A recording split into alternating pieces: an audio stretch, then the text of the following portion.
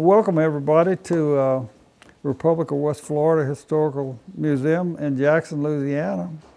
Uh, Jackson is a very historic town and uh, it was basically founded in 1815 when uh, Andrew Jackson came back through here after the Battle of New Orleans and uh, he camped out on Thompson Creek, which is only a mile from here. And uh, he was came through this way to pay his respects to people who had fought with him in the, in the battle against the British. And, and that, that was uh, led to, you know, our independence from um, uh, European control. And uh, uh Andrew Jackson uh, later became President of the United States. And, and, and he, he really helped us gain independence. So in our museum here, what we have tried to do, originally we wanted to have wildlife in this first room, and we wanted to uh, show what the world looked like here. If, if settlers would come here and build a log cabin or build a house or something, and they look out the window and they see all this varied wildlife in Louisiana. So we have now really, really covered up most of the wildlife with other things. Uh, one of our exhibits here that Billy Spadell um, got was a, a, gentleman had made a replica of the um, uh, Santa Maria, which was Columbus's uh, uh, ship that uh, in 1492 when the three ships came and and we discovered the world was round, basically, and uh, that, that there was a, a, a, civilization on the other side of the Atlantic Ocean. Uh, really, it's important that, that young people take advantage of learning about our history so they won't make the same mistakes that we have made in the past and that they will understand where their roots are. Uh, this is a, a, one good reason for having a museum. But to me, a are, are a wonderful learning tool. As we tour back through the museum, you, you're going to see uh, some items from the first railroad in the South, uh, which was the Clinton and Port Hudson Railroad. Uh, it, was, it was chartered in 1833, and uh, it, it had a spur that ran to Jackson. And if you know where Milbank House is, which is only, what, three blocks from here, uh, that they owned that too, which was one of the first banks. And, and it had a spur that ran to Jackson. You'll see some of the original rails in the next room, which are over two, about 200 years old. And you see that it's a whole lot different from the I-beam rail that we use today. As you go through, uh, you will see that we have exhibits from throughout our history. We tried to do it in chronological order in a, in a way that this would be the first room and the second room was uh, uh, the uh, uh, growth of this community and this area uh, with the beginning of, of Centenary College here that takes their roots back to 1825, which was the College of Louisiana and it was located uh, only two blocks north of here. Uh, it had a magnificent center building, the uh, pictures in the next room, and, and you can imagine that it had an auditorium that seated 2,000 people. And you say it wasn't even 2,000 people in the town. And, and, and yet, it, it honestly was bigger, Jackson was bigger than Baton Rouge at one time. And we had, we had a, a, lot of settlers up here, and you say, why was it bigger in Baton Rouge? Look at the land in Baton Rouge and how low it is. Uh, actually, uh, at, at, the time when the river gets up, a lot of it would be flooded if it, if it wasn't for the, uh, the uh, levees. And uh, up here was the beginning of the hill country. And so they, they uh, really settled an area that they knew that they could farm first, and this land here was more valuable than the land in Baton Rouge, and now, of course, it's the opposite, opposite way. But, but that just shows you uh, what happens uh, uh, throughout history, and as time changes, how, how values change, how we look at things differently. But uh, come on and, and join us in a little, little tour uh, uh, as we go about our, our journey in time here. One thing I would like to point out uh, an exhibit to my right is we had a, a, very famous artist in our area, John James Audubon, and he painted many of his birds of America uh, from uh, li living here in the Feliciana area. And uh, this is his uh, uh, portrait up on the, uh, to my right, up on the wall, and you'll see um, some of the birds that are native to Louisiana in the exhibit here. As this area developed, Centenary College of Louisiana developed in 1825 and uh, it, it, became a very prestigious school uh, before the Civil War uh, caused a lot of problems. And you, you will see uh, uh, some of the pictures of a magnificent center building here of Centenary College. It, it had an auditorium that seated 2,000 people. It was one of the biggest libraries, if not the biggest in the South. And it, it, it, makes you wonder if we could have avoided the Civil War, what our community and, and what our uh, state would be like. Because at the time, uh, we uh, were involved in, in making large cultural strides in our area. One of the strides uh, was uh, the first railroad. We had the first railroads in Louisiana was chartered in 1833 and the Clinton and Port Hudson was one of these railroads. If you think about it now, if you think about it, between 1833 and 1903, guess what? To, to move heavy loads, we didn't have automobiles and, and trucks. What we had to move them by steam power or steam locomotives. And it, uh, down here you will see the uh, some of the first rail that's almost 200 years old that was used in the Clinton and Port Hudson Railroad. They, they had a, um, a cross tie under the rail that was made out of cedar because cedar uh, uh, held up good, good, against the elements.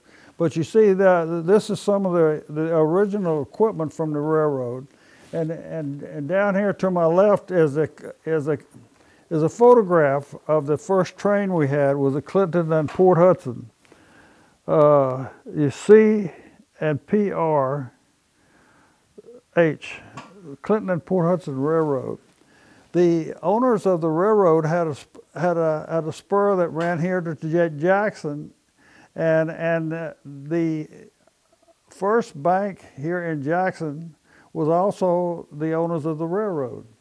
So you, you see a lot of, lot of history uh, was tied up in a few people who, who were visionaries and had a, had a great idea of, of the, how we could develop this land to be prosperous and to be eco economically viable to, to our, our citizens here. But uh, oh, this is, uh, room is very interesting. Uh, if you take the time to visit things, we're going to go down the hall now to our uh, Civil War room. Uh, this is our, our, Civil War room that, that, that depicts some of the activities uh, during the Civil War of the clashes between the Confederate troops and the Union troops.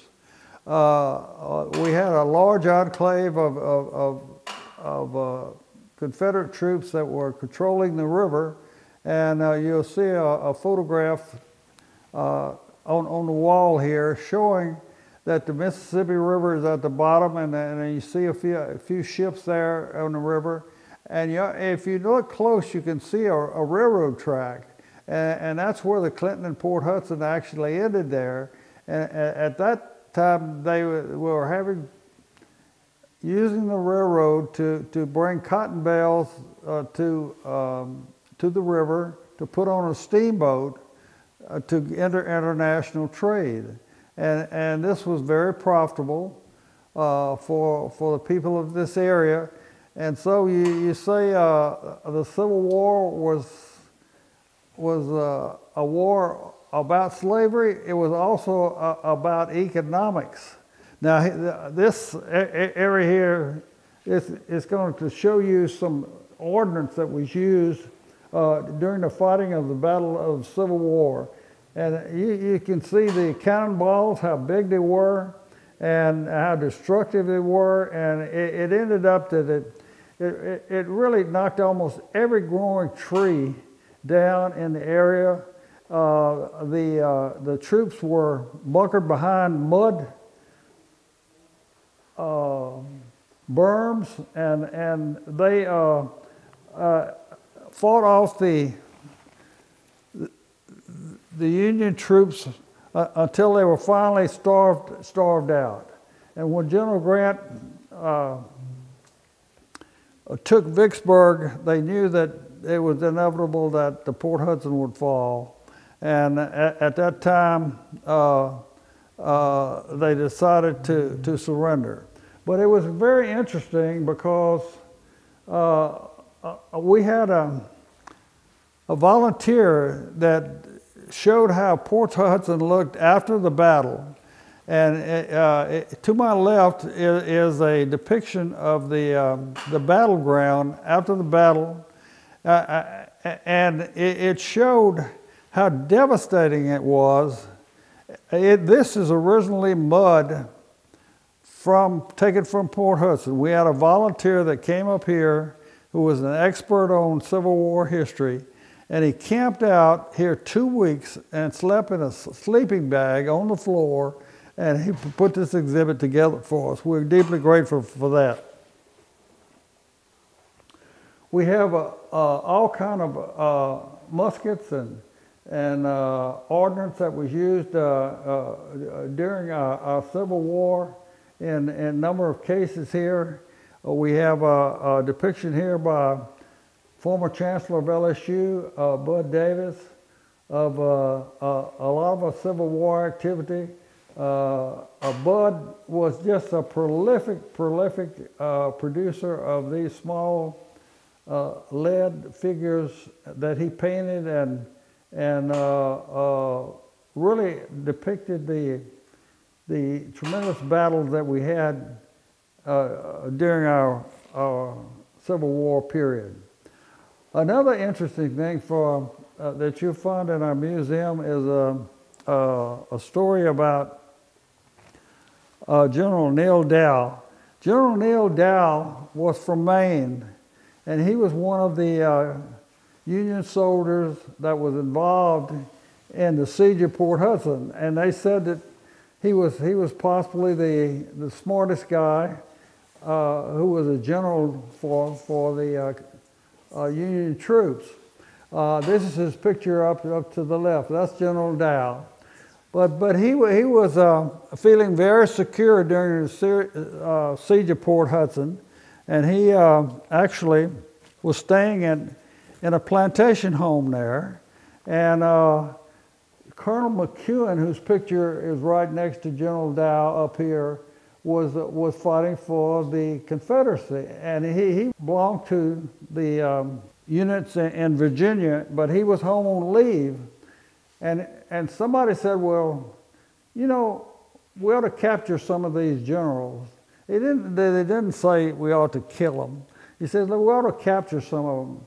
So Colonel McEwen, being home on leave, and this was his home territory, he gathered up four or five of his friends, and they slipped in down a ravine and a creek bed, and they slipped up to the home where General Dow was staying, and they said, We're going to capture this general.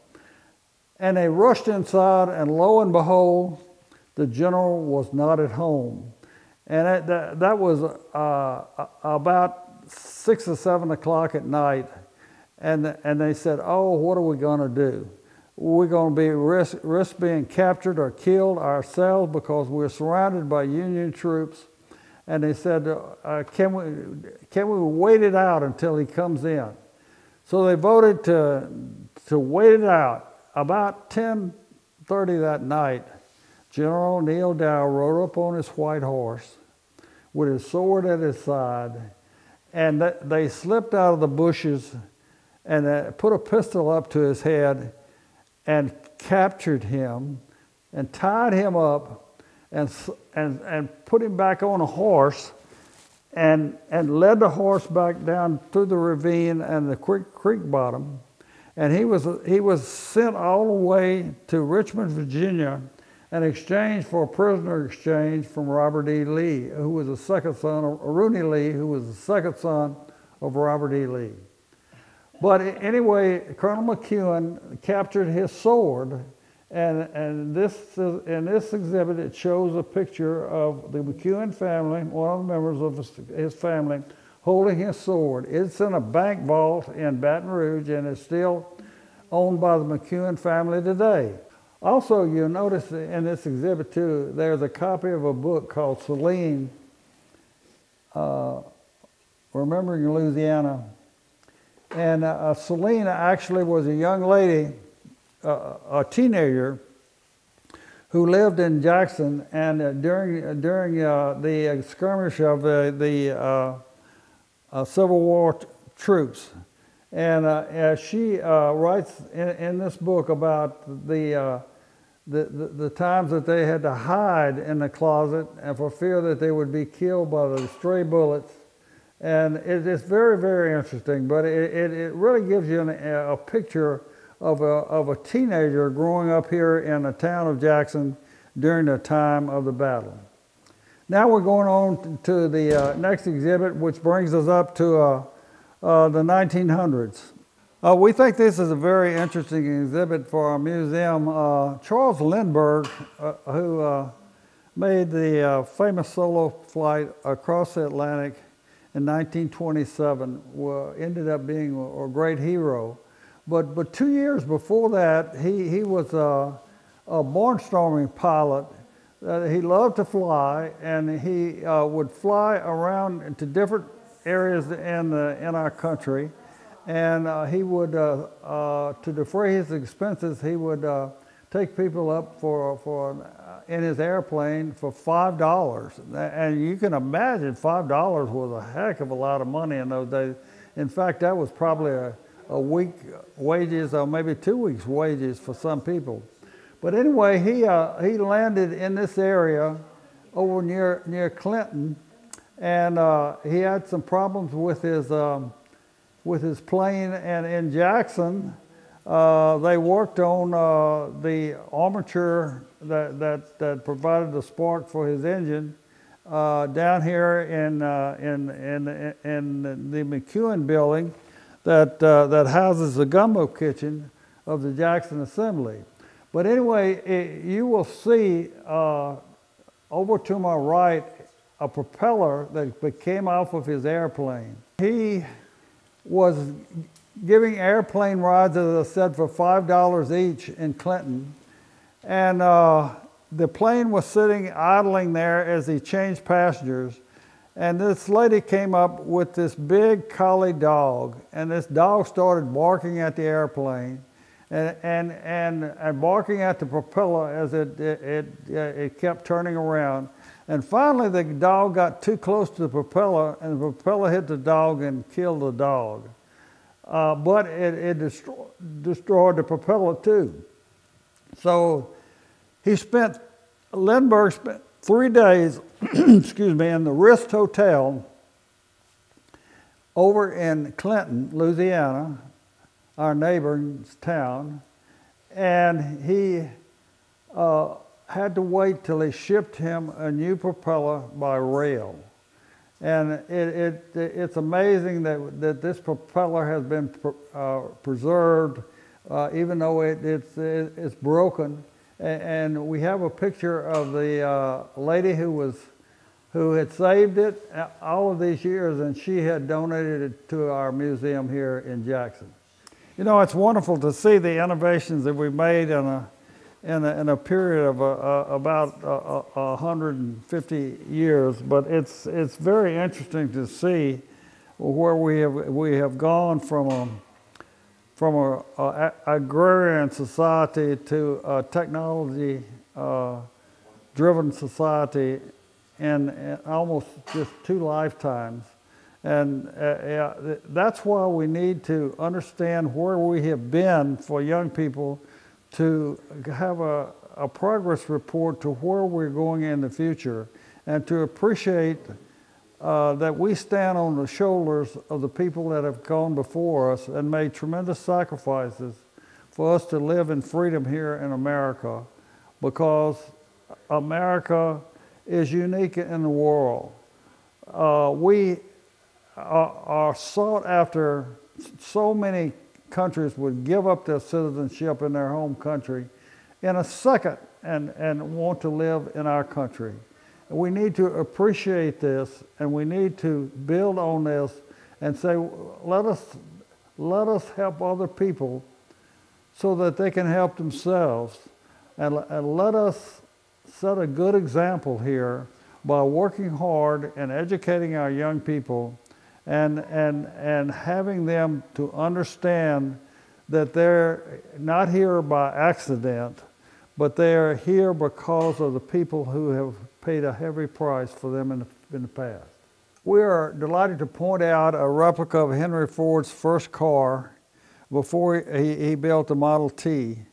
And, and, and as many of you know, uh, if you've ever been to the uh, Henry Ford Museum in Dearborn, Michigan, uh, we, had, we had the opportunity, my, my family had the opportunity to visit several years ago, and it really knocked our socks off. It was so good. Uh, uh, about how Henry Ford developed his first engine, and they, they called it the, the kitchen sink engine, and it, it was about as big, big, as my hands are spread apart here. And uh, he actually got it to run. And up there today, if you visit that area, uh, you, uh, they have two or three of these little small engines that, that they demonstrate it and show you. But what a wonderful part of history Henry Ford was, and Thomas Edison, and the Wright brothers that brought us almost into a, the space age uh, that we uh, live in today. And, and the age of, uh, of Google and Amazon and all of the things that, that drive our economy today were based on the fact that the people gave a great deal of their effort to, to make wonderful things happen. And our museum is a depiction of that. We have several Model T cars here. We have some old equipment. We have an old uh, uh, stove. Uh, we remember we had to had to uh, cook years ago on, on a wooden stove. And, and, and now today, nobody thinks about that. They just turn on the switch and the power comes on. So we're delighted that, uh, that y'all have taken this time to uh, view our a video of uh, our museum. Uh, we have some outbuildings. We have a, one building that has an old grist mill. We have an, another building that has a, a 1880s uh, cotton gin. And uh, we had the largest gin works in, in the world located here in Amite, Louisiana, which is part of the Florida parishes. And uh, at one time, and of course, that uh, building has been torn down, but we have uh, uh, the real gin here at our museum. Uh, we have a wonderful exhibit of, uh, of miniature trains in, in, the back, and, and almost every Saturday, uh, the exhibit is open for you to visit that. But we encourage you to bring your friends and family to come to visit our museum and learn and be a part of Louisiana history and American history that, that can make a difference to uh, our young people of America and the world. Thank you very much for listening.